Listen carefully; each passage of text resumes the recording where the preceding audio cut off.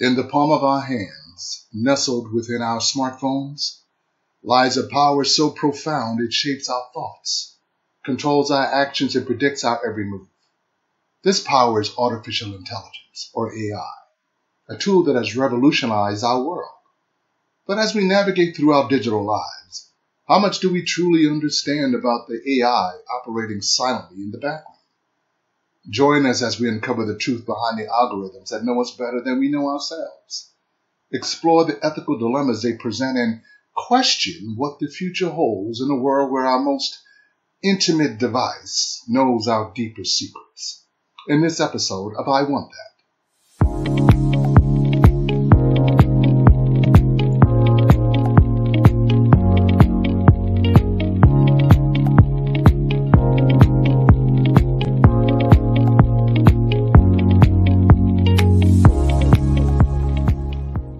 Smartphone spying on you?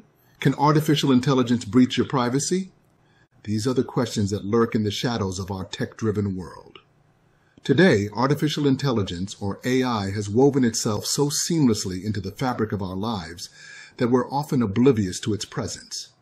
It's there when we ask Siri to set an alarm, when we ask Google for the quickest route home, or when our photos are automatically sorted by faces and places. The convenience is undeniable, but so too are the potential risks. As AI becomes more sophisticated, it's not just learning our habits, it's predicting them. This omnipresence, however, doesn't come without a price. Our personal data is being used, sometimes in ways we don't fully understand or even consent to.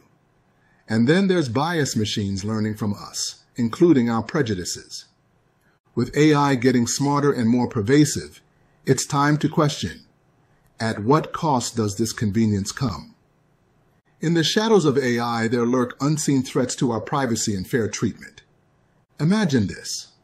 You download a new app on your smartphone, perhaps a game or a productivity tool. You're asked to accept a long list of permissions. You scroll past the fine print, eager to start using the app, and hit accept without a second thought.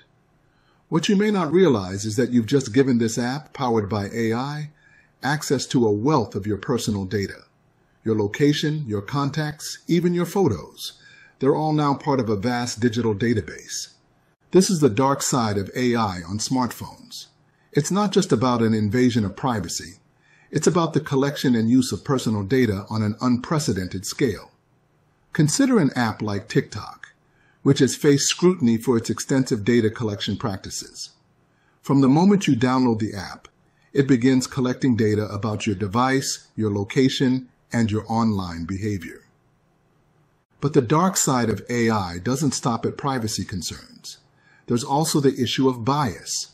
AI systems are only as good as the data they're trained on. If this data is biased, the AI will be too. For instance, there have been cases where job recruitment AI systems have shown bias against women or individuals from certain ethnic backgrounds. And then there's the issue of predictive policing, where AI systems are used to predict where crimes will occur or who will commit them. These systems have been criticized for their tendency to over-police certain neighborhoods, often those with a high proportion of racial or ethnic minorities. These examples serve as a stark reminder that AI is not infallible. It can be manipulated, it can be biased, and it can invade our privacy in ways we might not even realize. It's important to remember that these are not isolated incidents. They're indicative of a larger systemic issue with AI on smartphones. These are not isolated incidents, but rather the tip of the iceberg. Remember the Facebook Cambridge Analytica scandal? That's AI gone rogue. Let's dive into what happened. In the heart of 2017, a scandal erupted that exposed the underbelly of artificial intelligence and its potential for misuse. Facebook, one of the world's largest social media platforms, was at the center of this controversy. The villain of the piece, Cambridge Analytica, a political consulting firm, was accused of harvesting the personal data of tens of millions of Facebook users without their consent. The sheer scale of this data breach was staggering, but the real shock was how this data was used. Cambridge Analytica employed sophisticated algorithms and AI tools to analyze this data creating detailed psychological profiles of users. These profiles, rich with personal preferences, political leanings, and more, were then used to target individuals with personalized political advertising. Now you may be thinking, isn't that just targeted advertising? But here's the catch. This wasn't about selling shoes or promoting a new movie. This was about influencing democratic processes, the Brexit referendum and the 2016 U.S. presidential election, to be precise. The data was weaponized, used as a tool to manipulate public opinion, exploiting the very essence of democracy. The scandal also raised questions about Facebook's role in this. How could such a massive data breach occur on their platform? It brought to light the tech giant's lax data privacy policies and their complicity in allowing third parties to access user data.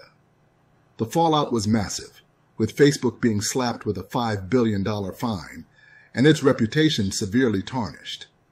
But the real victims were the users, everyday people like you and me who were unknowingly turned into pawns in a high stakes political game.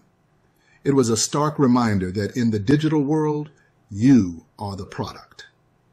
It was a wake up call, a lesson in the potential dangers of AI when left unchecked, and the importance of safeguarding our data in this increasingly connected world. In an ideal world, artificial intelligence would be a digital arbiter of fairness, devoid of human prejudices. Unfortunately, we don't live in an ideal world. AI, like any technology, is shaped by the biases of its creators and the data it's trained on. This is particularly evident in facial recognition technology, where racial bias has surfaced in multiple instances. One glaring example is the case of Robert Julian Borchak Williams, an African American man from Detroit. In 2020, he was wrongfully arrested due to a faulty facial recognition match. This case magnified the system's inability to distinguish between people of color accurately, leading to grave consequences. Even the tech giants aren't immune. In 2015, Google Photos image labeling system sparked controversy when it mistakenly identified two African American users as gorillas, a glaring testament to the racial bias inherent in its AI. It's not just about misidentifications. A study conducted by the National Institute of Standards and Technology found that Asian and African American people were up to 100 times more likely to be misidentified by facial recognition technology than white men. Similarly, Native American faces were misidentified 10 times more often than white faces. These instances of racial bias are not just unfortunate glitches. They are symptoms of a deeper problem most facial recognition algorithms are trained on data sets predominantly composed of white faces. As a result, these systems are less accurate when identifying people of color. But why is this happening? The answer is simple lack of diversity in the tech industry. Without a diverse team of creators, AI systems are more likely to perpetuate the biases of a homogenous group. In hindsight, AI is not the impartial judge we might imagine it to be it mirrors the biases ingrained in its training data and its creators. So the next time you hear someone say that AI doesn't see color, remember AI, it seems, is only as impartial as its creators. AI is not the villain here, but it's not a hero either. It's a tool, a double-edged sword that can be wielded to create miracles or to wreak havoc. It's how we choose to use it that truly matters. Now let's talk solutions. How do we navigate this tricky landscape? Firstly, we need to address data privacy. In an age where data is the new oil, we need to ensure its responsible use. Stricter data privacy laws are a must. These laws should not only protect users' personal information, but also regulate how AI algorithms can access and use this data. It's about setting boundaries, about saying this far and no further. Secondly, it's crucial to have diverse data sets to train AI. Bias in AI is often a mirror of the bias in the data it's trained on. If we feed our AI systems with more diverse data, we can help mitigate bias. This isn't just about race or gender. It's about age, socioeconomic status, geographical location, and more. Diversity is the spice of life, and it should be the spice of our AI systems too. But let's not forget AI holds great potential. It can streamline processes, save time, and even save lives. AI can predict natural disasters, diagnose diseases, and much more. It can be the hero in our story, but only if we guide it correctly. Using AI responsibly means understanding its limitations. It means being aware of the potential for bias and the privacy concerns. It means not blindly trusting the output of an AI system, but questioning it, testing it, scrutinizing it. AI is a tool, and like any tool, it can be misused. But if we use it wisely, if we use it responsibly, we can change the world for the better. We can create a future where AI is a trusted ally, not a feared adversary. As we step into a future powered by AI, we must carry the lantern of privacy and fairness with us. Let's ensure that in our quest for progress, we do not leave our principles behind.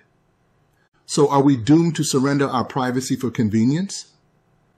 In a world increasingly reliant on smart devices, we've seen artificial intelligence prove both its utility and its potential for harm. We've unearthed the convenience of AI, the ease with which it can predict our needs, streamline our lives, and offer us a world of information at our fingertips. Yet we've also delved into the darker side of this revolution. The privacy invasions, the data misuse, the racial bias in algorithms, all real concerns that accompany the rise of AI in our smartphones. As we navigate this digital landscape, it's essential to remember that the use of AI is not an all or nothing proposition. We can and should reap the benefits of this technology without compromising our fundamental rights to privacy and fair treatment. As we embrace AI, we must also safeguard our rights. It's a delicate balancing act, one that we must master in the AI era. Well, that's all we have for today.